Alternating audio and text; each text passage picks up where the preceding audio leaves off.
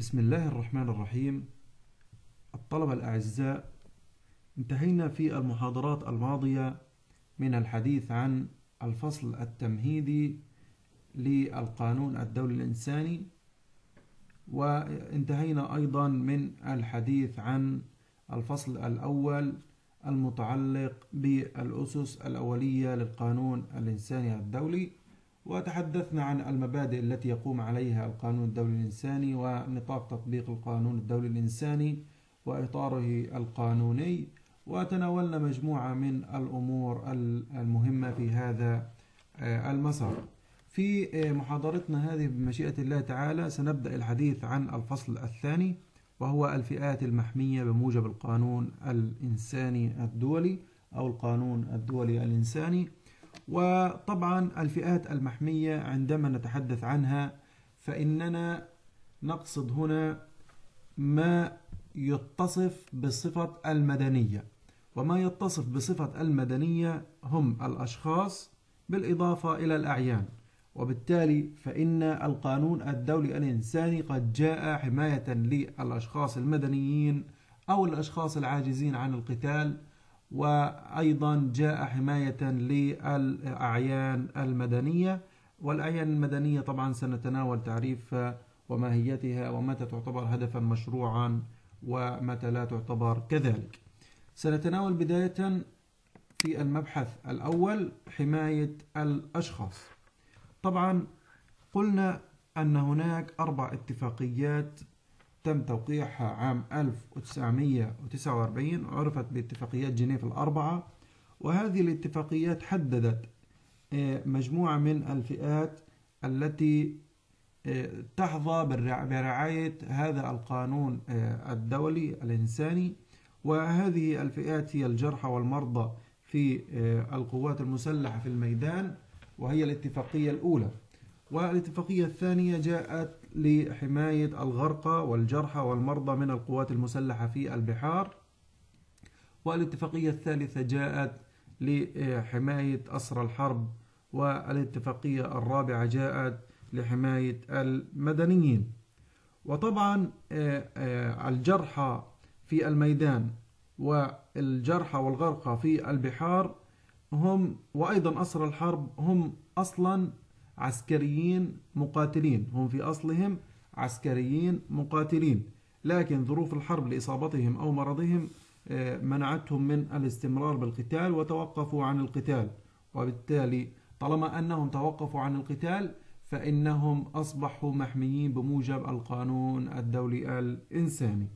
ولا يجوز قتلهم أو الاعتداء عليهم بطريقة غير إنسانية.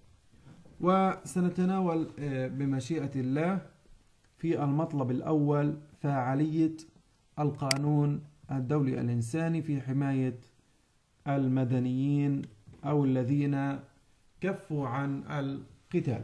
أولا سنتطرق إلى تعريف آه، آه، الجرحى والمرضى والغرقى بشكل يعني مقتضب. بالإضافة إلى آه، الحديث عن القتلى والمفقودين أيضا بشكل مقتضب. الجرحى والمرضى والغرقى طبعا آه، الذين آه، تناولتهم اتفاقية جنيف الأولى والثانية لسنة 1949 بالإضافة إلى الباب الثاني من البروتوكول الأول خصوصا من المواد 8 إلى 34 قالت بضرورة تحسين حالة هؤلاء هذه الفئة وهم الجرحى والمرضى. الذين أصبحوا غير قادرين على القتال وتكون هذه الحماية طبعا دون تمييز بين هؤلاء الأشخاص دون تمييز على أساس اللون أو الجنس أو اللغة أو الدين أو العقيدة. وبالتالي فإن هذه الحماية التي يحظى بها هؤلاء الأشخاص هي من المبادئ الجوهرية التي سعى لها آه، القانون الدولي الإنساني وخصوصا وعلى وجه التحديد اتفاقيات جنيف الأربع خصوصا الاتفاقية الأولى والثانية. وإن مبدأ التمييز آه، آه، أو عفوا مبدأ عدم التمييز هو من المبادئ الأساسية التي نادت بها الاتفاقيات الأربعة. هذا أولا في فيما يخص الجرحى والمرضى. يعني فقط أشرنا إليه إشارة كما هو موجود في الكتاب المقرر. أما بخصوص القتلى والمفقودين فالقانون الدولي الإنساني اهتم بهذه الفئة اهتماما كثيرا وطبعا حظيت هذه الفئة بحماية خصوصا لما يترتب على القتل أو الفقد من آثار قانونية متعلقة بأسر القتلى أو بأسر المفقودين. وفي موضوع القتلى أوجب القانون على أطراف النزاع أن يقوموا بتسجيل هويات المتوفين وإرسال هذه البيانات للجنة الدولية للصليب الأحمر حتى يتم نقلها إلى الطرف الآخر. وبالتالي يتم تبادل شهادات الوفاة وقوائم بأسماء الموتى والقتلى وأيضا تناول وتبادل عفوا الأشياء ذات القيمة التي يتم إيجادها مع الموتى.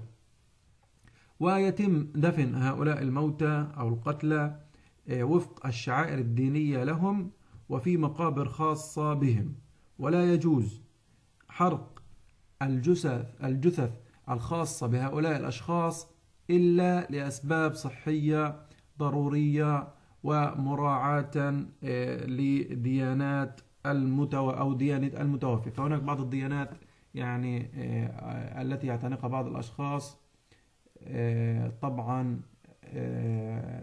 تحتم عليهم حرق جثتهم وذلك كما هو موجود مثلا في الهند. فإن كانت هناك ضرورة صحية أو مراعاة لديانة المتوفى أو المقتول فلا مشكلة من حرق هذه الجثث.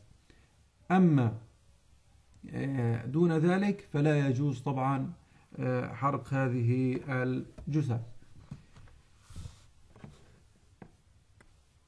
أما فيما يخص موضوع المفقودين فسنقتصر هنا على تعريف المفقودين والمفقود طبعا عرف من قبل مجموعة من الفقهاء فمنهم من عرفه بأنه الشخص الذي انقطع خبره بحيث لا تعلم حياته من مماته ولا يمكن الحكم عليه بأنه ميت أو حي.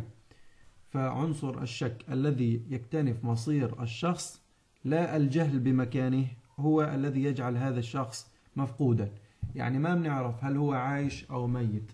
لكن إذا كنا نعرف هو عايش ومتأكدين منه أو هو ميت ومتأكدين منه لكن لا نعرف مكانه هذا يعتبر غائب ولا يعتبر مفقود. فالمفقود يختلف عن الشخص الغائب. فالمفقود إذن هو شخص فقد في ظروف الحرب أو في ظروف يغلب فيها الهلاك ولا تعلم حياته من مماته. أما الغائب فهو شخص معروف المصير ولا ولا يعرف مكانه ولا يعرف مكانه. وطبعا المنظمات الدولية عنيت بالاهتمام بهذا بهذه الفئة وطبعا من أهم المنظمات التي عنيت بهذا الأمر هي اللجنة الدولية للصليب الأحمر. وبالإضافة إلى اللجنة الدولية لشؤون المفقودين. وهذه طبعا الجهتين من أكثر المؤسسات أو المنظمات الدولية التي تهتم بحقوق المفقودين وبحقوق ذويهم. إذا هذه كمقدمة أو تعريج فقط على موضوع القتلى والمفقودين وأيضا تعريج سابق على الجرحى والمرضى والغرقى.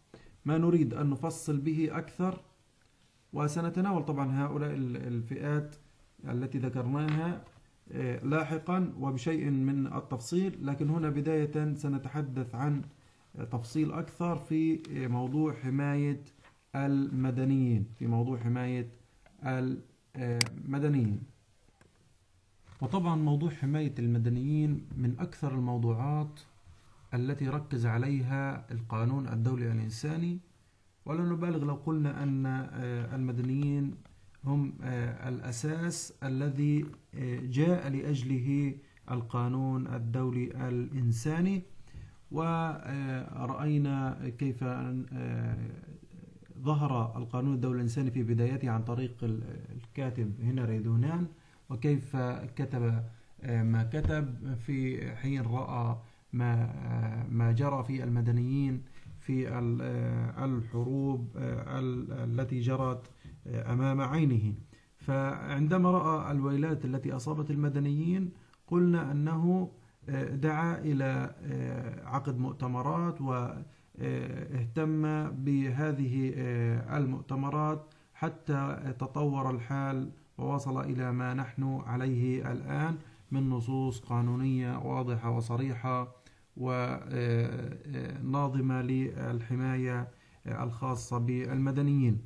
وحماية المدنيين أمر مهم جدا كون أن العسكريين في الغالب لا يراعون الشفقة في قتل المدنيين وفي تدمير الأعيان المدنية. فرأينا في الحروب على قطاع غزة سواء في 2008 أو 12 أو 14 الحالة الهمجية التي يعني أصابت إسرائيل في هدم المباني والمساجد والمؤسسات والمدارس والمنازل المدنية على رؤوس ساكنيها واستخدمت في ذلك شتى وسائل الحرب المسموحة والغير مسموحة من فوسفور وغيره. وطبعا القاعدة العامة في القانون الدولي الإنساني أن شر الحرب يقتصر على المحاربين ولا يجوز أن يتعدى ذلك الشر إلى المدنيين. ومن طبعا الأمور التي يرتكز عليها القانون الدولي الإنساني في حماية المدنيين قاعدتين مهمات وهما أولا القاعدة الأولى التزام الأطراف المتحاربة بقصر توجيه العمليات العسكرية نحو القوات العسكرية بغرض إضعافها وليس الإفناء الكلي لمواطني أو شعب ذلك الطرف. أما القاعدة الثانية فهي تحريم توجيه العمليات العسكرية أو أي عملية عدائية أخرى ضد السكان ما دام أن هؤلاء السكان لا يشاركون بالفعل في القتال. وطبعا السكان المدنيين هم الأشخاص الذين لا ينتمون إلى أفراد القوات المسلحة والتنظيمات المساعدة أو المكملة لها كالأشخاص مثلا العاملين في المصانع الحربية. آه، وأيضا آه، يعتبر من المدنيين الأشخاص الذين لا ينتمون للقوات المشار إليها في الفقرة السابقة ولكنهم لا يشاركون ولكنهم عفوا يشاركون في القتال ولكنهم يشاركون في القتال بمفهوم المخالفة. إذا لم يشاركوا في القتال فهم مدنيين لكن طالما أنهم يشاركون في القتال فهم آه، مقاتلين ولا يخضعون للحماية. إذا السكان المدنيين هم الأشخاص الذين لا ينتمون إلى أفراد القوات المسلحة ولا يشاركون في القتال في حالة نشوب نزاع مسلح. وطبعا هذا التعريف آه، يعتبر أن هناك مجموعة من الأشخاص موجودين آه، مؤقتا في حالة عسكرية يعتبرهم مقاتلين. يعني شخص مدني حمل السلاح حب لمواجهة آه، الغزو أو الاجتياح أو العدوان الذي ثار من دولة أخرى فمجرد أن حمل هذا الشخص المدني السلاح وقام بالقتال فإنه في هذه الحالة يعتبر مقاتلا يعتبر مقاتلا. بالإضافة إلى أنه وضع آه، الأشخاص العاملين في المصانع الحربية مثلا في مصاف الأشخاص المقاتلين. حتى آه، كون أن حتى لو لم يحملوا هؤلاء الأشخاص سلاحا آه، ظاهرا وطالما أنهم يعملون في المصانع الحربية ويشاركون في العمليات العسكرية بطريقة مساعدة وبطريقة مكملة للقوات المسلحة فإنهم يعتبرون يعتبروا من المقاتلين. وبالتالي إذا اعتبروا من المقاتلين فإنهم يخرجون من نطاق الحماية المقررة للمدنيين. وطبعا تضمنت المادة 50 أيضا من الملحق الإضافي الأول اتفاقية جنيف تعريفا للمدنيين وهو ما ورد في الكتاب المقرر أمامكم بالإضافة إلى أنهم الأشخاص الذين طبعا لا ينتمون إلى القوات المسلحة بأي شكل كان. ولا شك أن الحماية المقررة للسكان المدنيين تقتضي منهم عدم المشاركة في العمليات العسكرية. إذا هذا الأمر يعني أصبح آه، آه، واضحا. طالما أن الشخص لا يشارك في العمليات العسكرية فإنه يعتبر مدنيا فإنه يعتبر مدنيا. ويلاحظ آه، أنه لا يعد مدنيا من ينتمي إلى أفراد القوات المسلحة. إذا كانت هذه آه، الفئات آه، تنتمي إلى تخصصات مهنية وفنية بموجب الأصل مثل المهندسين والأطباء ورجال القضاء العسكري. متى التحقوا هؤلاء الأشخاص بخدمة القوات المسلحة؟ فإنهم يصبحون أفرادا منها فإنهم يصبحون أفرادا منها. وحتى يتمتع طبعا آه، السكان المدنيين بالحماية المقررة في القانون الدولي الإنساني فإن عليهم مجموعة من الالتزامات.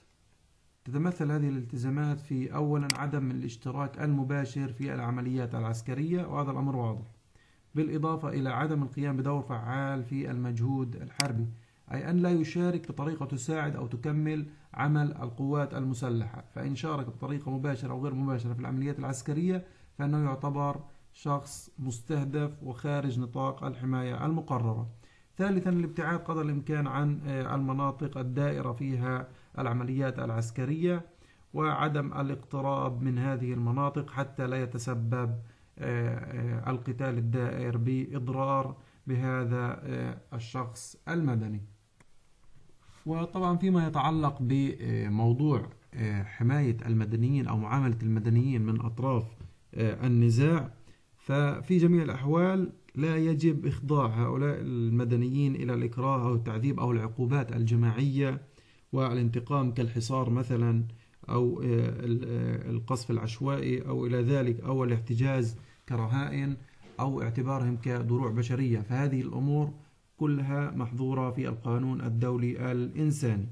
وبينت الاتفاقيات خصوصا الاتفاقية الرابعة شروط الاعتقال وظروفه وكيفية نقل الأشخاص إلى آه، من دولة إلى أخرى.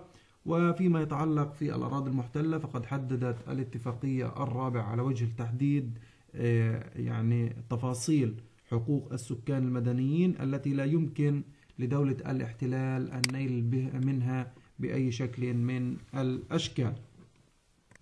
وموضوع اعتقال المدنيين آه، الوارد في المادة آه، أو عفوا الاتفاقية الرابعة اتفاقية جنيف الرابعة يتشابه طبعا مع ما ورد إلى حد كبير في الاتفاقية الثالثة من حيث المعاملة بصورة آه، عامة.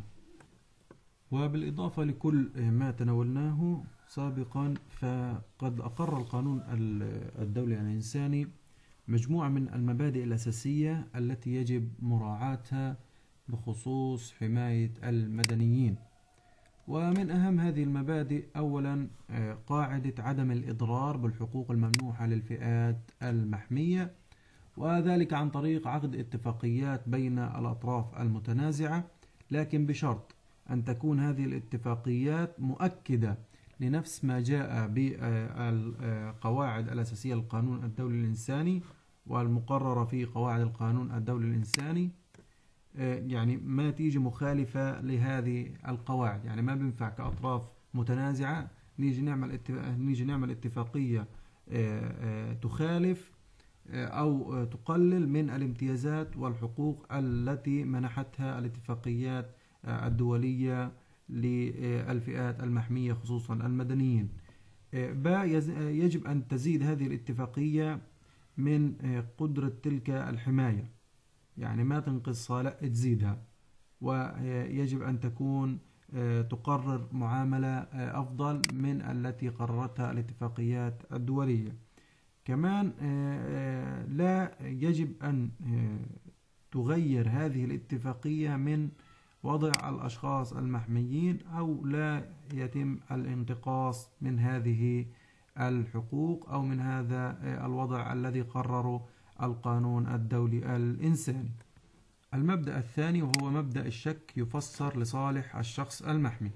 إذا ثار خلاف طبعا ما بين الشخص آه، الموجود في دائرة القتال هل هو عسكري أو هو مدني يجب تغليب الصفة المدنية على الصفة العسكرية.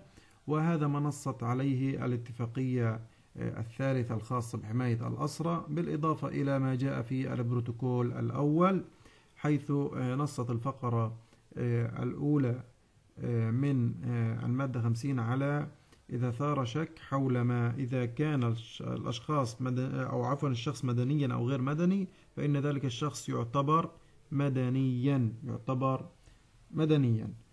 وطبعا إذا وقع المثال الظاهر على هذا الأمر إذا وقع الشخص في يد العدو دون أن يكون معه إثبات شخصية هوية أو إلى ذلك فالقاعدة إذا تقتضي بأنه يعتبر أسيرا إلى أن يثبت عكس ذلك إلى أن يثبت عكس ذلك وبالتالي يجب أن يخضع للحماية يجب أن يخضع للحماية.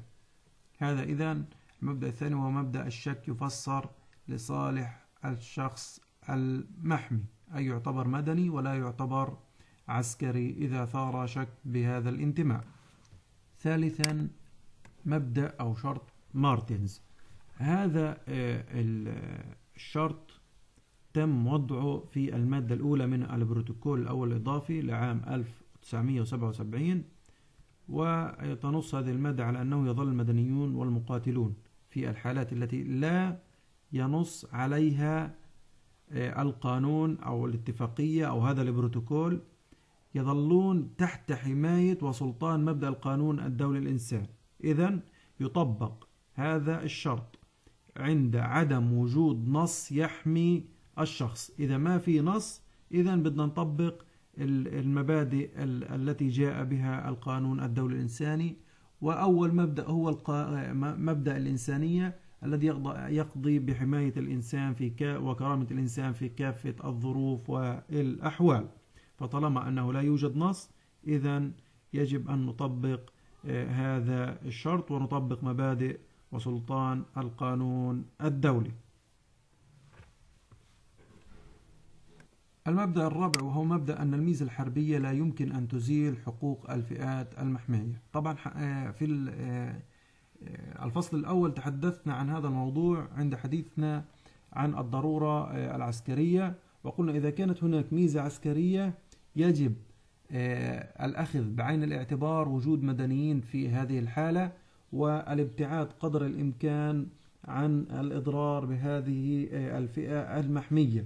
وبالتالي إذا وجدت ميزة عسكرية فيجب أن يتم استخدام هذه الميزة في أضيق نطاق حتى لا يتم الإضرار بالمدنيين ولذلك يحظر اللجوء إلى الهجوم العشوائي الذي لا يميز بين الأشخاص المدنيين والمقاتلين. أيضا مبدأ تحريم أساليب القتال التي تحدث إصابات غير مفيدة.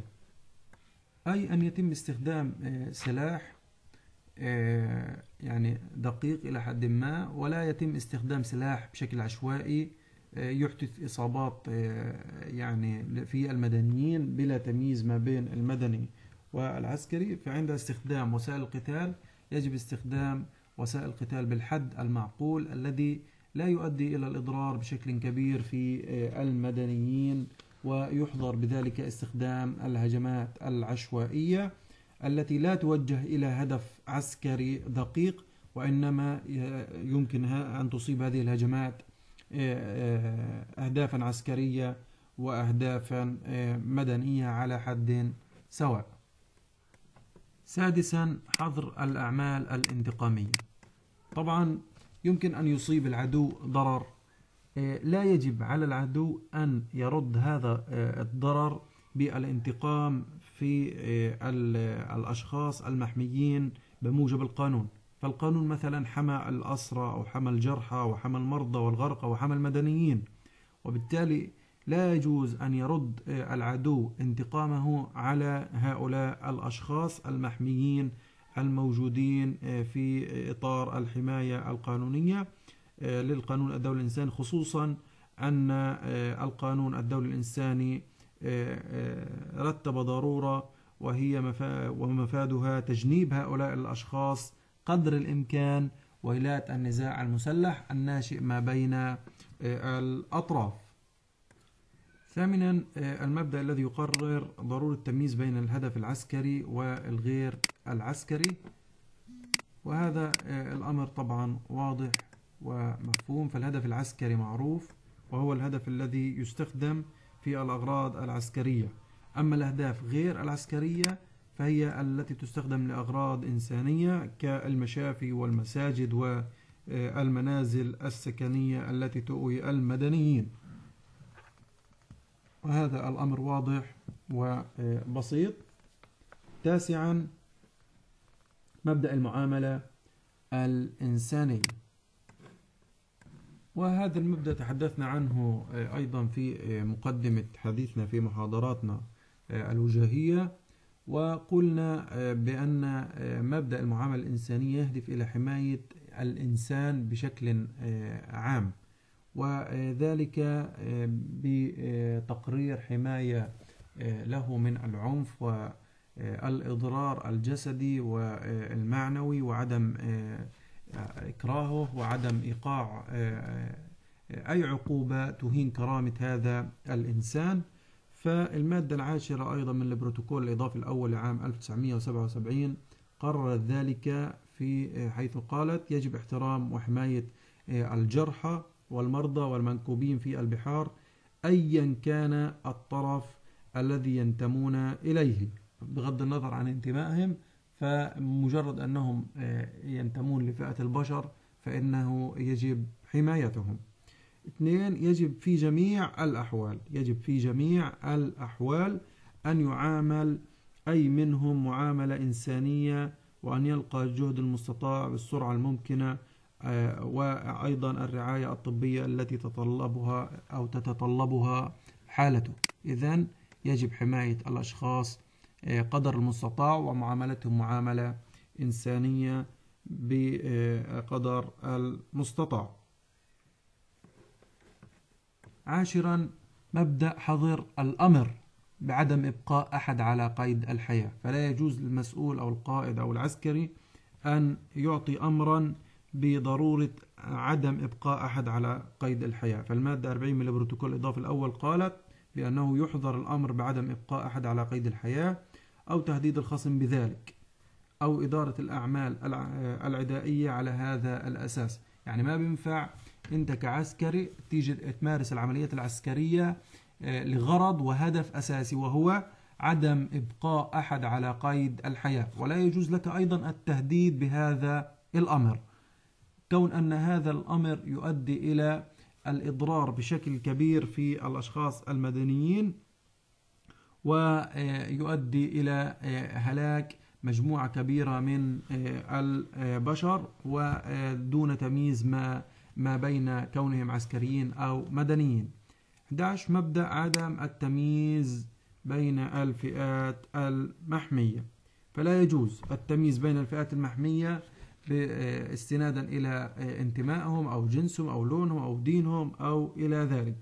وهذا الكلام قلنا قلناه في بداية المحاضرة فإن مبدأ عدم التمييز هو من المبادئ الجوهرية التي يستند عليها القانون الدولي الإنساني أيضا مبدأ المحافظة على السلامة الجسدية للفئات المحمية.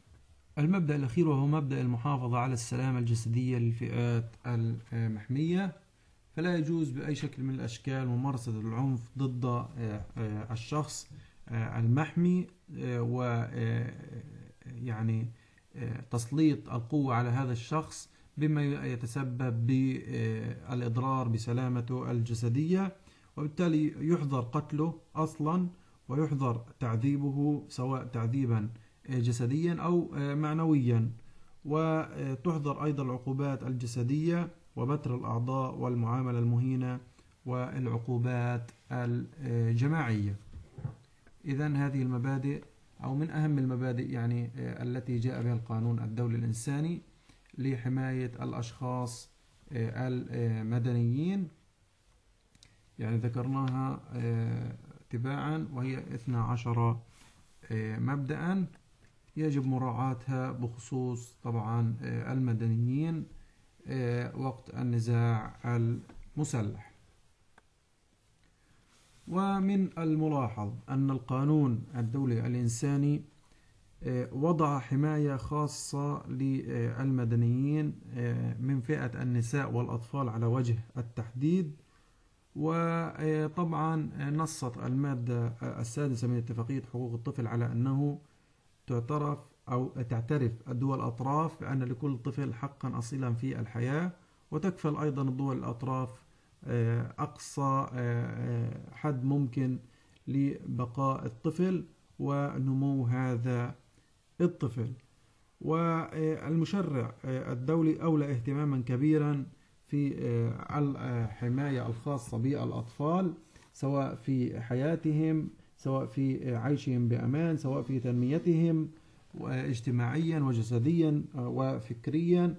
وأنشأ المنظمات الدولية طبعا زي اليونيسيف مثلا لرعاية هذه الفئة المهمة من الأشخاص المدنيين.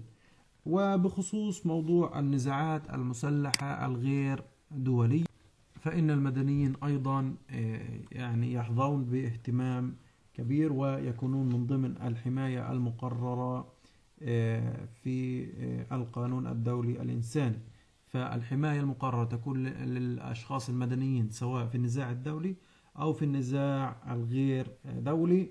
وهذا ما قررته المادة الثالثة المشتركة في اتفاقيات جنيف الأربعة لسنة 49 حيث نصت على أنه في حال نشوء نزاع ليس له صفة دولية على أرض أحد الأطراف فهناك حد أدنى من القواعد واجبة المراعاة. كما أنه يمكن للأطراف في مثل هذا النزاع عن طريق اتفاقيات خاصة تنفيذ كل أو بعض الاتفاقيات أي الاتفاقيات الأربعة. وبالتالي يحظر الاعتداء على حياة وسلامة الأشخاص المدنيين. في الدولة الحاصل فيها النزاع الغير دولي أو أخذهم رهائن أو الاعتداء على كرامتهم الشخصية أو إصدار أحكام ضدهم دون محاكمة عادلة. إذا المدنيين يحظون باهتمام سواء كانت في سواء كانوا في نزاع دولي أو في نزاع غير دولي. وطبعا إلى جانب المادة الثالثة المشتركة ما بين الاتفاقيات الأربعة اتفاقيات جنيف جاء بعد ذلك في عام 1977 كما قلنا البروتوكول الإضافي الثاني الخاص في النزاعات الغير المسلحة الغير دولية ووضع طبعا حماية أو وضع نصوصا عفوا أكثر تفصيلا لحماية الفئات المحمية بموجب القانون. إلى هنا نكون قد أتينا إلى نهاية محاضرتنا. نلتقي بكم بمشيئة الله تعالى في محاضرة جديدة في وقت لاحق والسلام عليكم ورحمة الله تعالى وبركاته.